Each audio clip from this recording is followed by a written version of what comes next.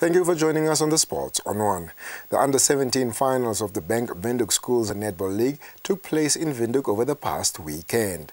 The semi-finals were played on Friday night and the finals took place on Saturday.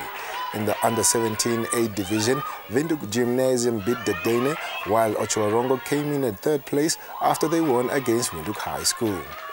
First of all, relieved that it's over and overjoyed because my team deserve to win. We have worked very hard throughout the year. De Duine gave us a run for our money. I must compliment compliment them. But at the end of the day, I am so happy. This season, a lot of hard work. We've worked very hard.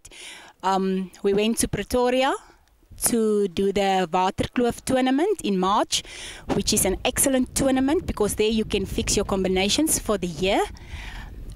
Um, and then we had a training session with Elize Kotze. Previously, she coached the South African netball team, and we had goals that we set. So I, I put a lot of pressure on my team. They enjoyed netball, but I put a lot of pressure on them, and they worked toward this. They totally earned this title.